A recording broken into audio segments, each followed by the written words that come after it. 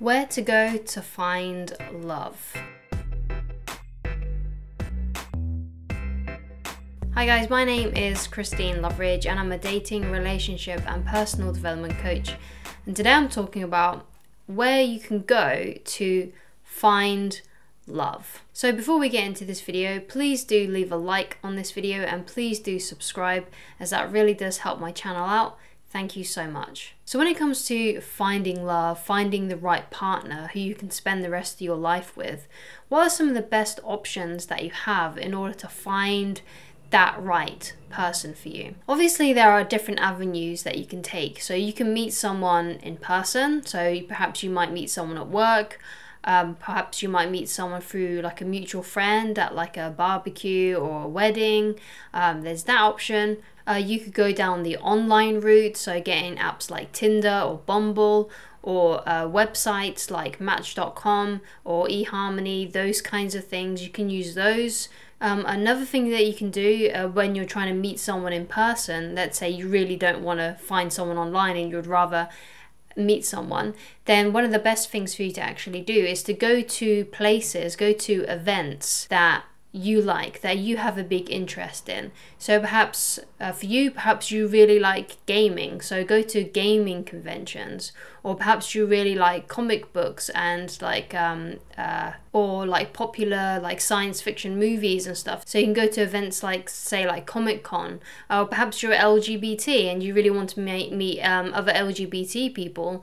Uh, the best way that you can probably do that is to go to some kind of LGBT event or something like Pride or something along the lines of like any kind of sort of like uh, rally maybe or an event. For example, for me. Um, I went once to a film premiere of a LGBT movie, and I was able then to talk to people in the lobby before the movie. I wasn't really looking to find love, but because I knew most of the other people there were gay, it was so much more easy for me to bring up conversations about the movie and about you know LGBT stuff. Have a good look at the things that you are personally interested in and uh, when you go to somewhere that you have a good interest in, like for me, example, that LGBT movie, um, it's much more easier to talk about things to strangers. So if you already have a common interest with someone, it's a lot easier to talk to them.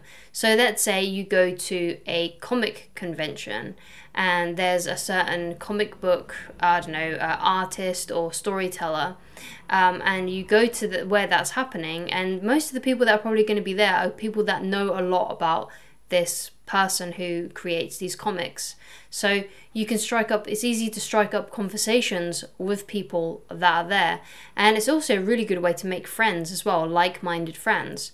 Um, but it's also a really good place to meet people who you could date. So when you're in those kinds of scenarios, it's so much easier to talk to people. The most ineffective way, I personally think, um, to find love, um, to find the right partner, um, is random encounters on the street, uh, people in supermarkets, people um, in nightclubs as well, because I guess you would have a common interest in the fact that you both like going to nightclubs, but because it's really hard to talk to people in nightclubs, it's very, and it, most likely both of you are going to be drunk, right? Um, it's going to be very, very difficult to have a proper conversation with them. And there's also like the loud music, and they might not even remember you after you've spoken to them. Like you may swap numbers, but they might not remember you because you were both drunk, and they might have got really drunk and then just didn't remember what happened you know that might happen to you. You might just get a phone call from someone some some person who you've got numbers from um, and you don't know who they are because you just got too drunk and stuff. So it's probably the least effective way to find people is like that way. Um, and also with things like supermarkets and random encounters, um, it's very unlikely that um, people are going to trust you if you just approach someone in a supermarket or you approach someone on the street. And the reason why that is is because um, there's no social proof so they don't know you you don't really have any common interests yet because you don't know each other so it's going to come off they're going to be very defensive and very uh, curiously worried about you i think that's personally how I would take it. If some random person just came up to me on the street and started having a conversation with me, or if this happened in a supermarket, even though I may think that they're good looking, um, I'm going to be really defensive and feeling um, unsure about the situation. So it's much easier to approach people in places where there's a common interest because you could just go up to them, start talking to them about what's happening.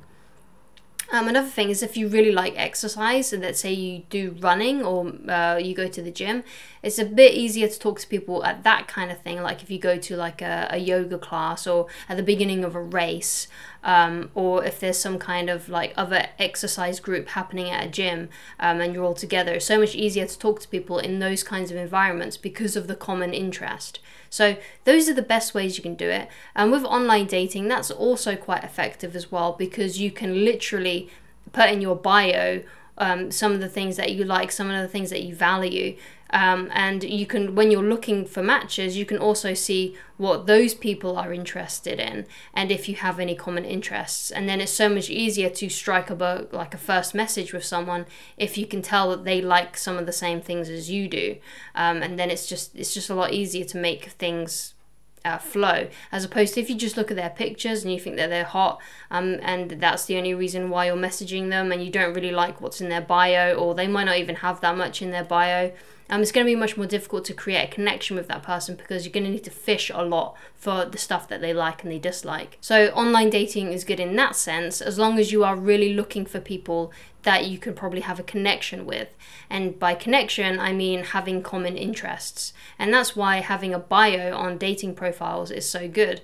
And I highly recommend that if you do have a dating profile, make sure that you do have, uh, you know, a, a, a, good bunch of things in there um, explaining the type of person that you are and the kind of per- person and the kind of things that you like um, because um, then it will give them more of a picture of who you are and it'll be much more easier for them to even reach out to you and message you first. Uh, I recently made a video on creating a good dating profile so you can get more matches. Um, so I highly recommend that you go and watch that video. Um, but when it comes to, I'll just give you a quick brief on good online dating profiles. So, firstly, make sure that you have very clear pictures of yourself and it's not pixelated or you're not very far in the, or and make sure that it's in focus as well, so you don't look blurry um, or it's not something that was taken years and years ago. Make sure that you have recent photos of yourself where you look happy um, and you're enjoying yourself. I go into it more detail in that video, so please go and check that video out. It's up in the card, um, so go and you can go and click on that right now if you want to.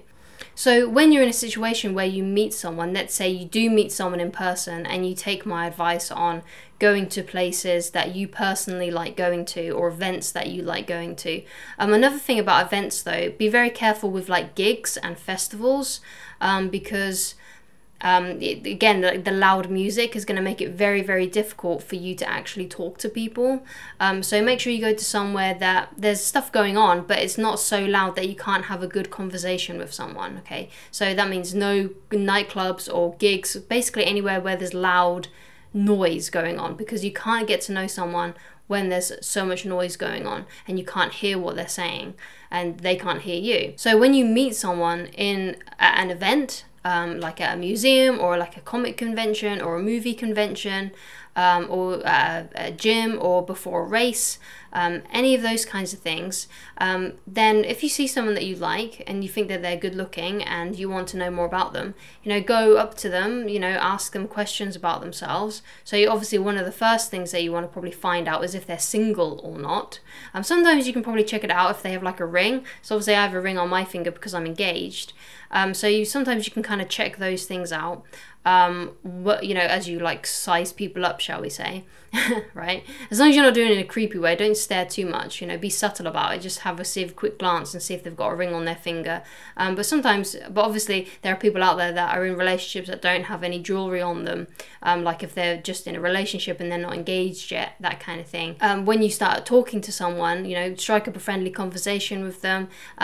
Um, I ask them about their life and then try and find out whether or not they are in a relationship or not. And if you find out that they're not in a relationship, then that's a great time to say, would you like to hang out? Would you like, when are you available this week to meet up for a coffee? Because I'm having a great conversation with you. I'd love to carry on the conversation. When are you, when are you free? And then just wait for them to tell you when they're available. And then you can set up a time and place with them. And something else I want to point out as well is if you do actually get into contact with someone and they do have a boyfriend or a girlfriend, they're not, you know, single um, don't just rule them out. Don't just walk away and be rude or anything like that.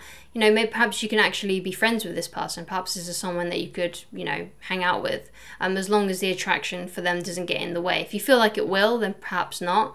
But you know, also this is a great way to not just meet people to fall in love with and have a relationship with and go on dates with, but it's also a great way to find new friends and to make uh, new connections. So one of the things that I want to do, especially when all of this stuff in the world that's happening right now is gone, is I want to go to more places where there's more people like me that are into personal development and stuff. So um, that's one of the ways and one of the routes that I want to go down um, in order to make new friends, especially because me and my fiance aren't planning on staying in the area where we live right now. So when we do move to a different area and we, you know, kind of settle down and put down our roots somewhere, um, then I'm going to be looking for those kinds of groups, those kinds of events going on in that particular area to find new friends and stuff like that.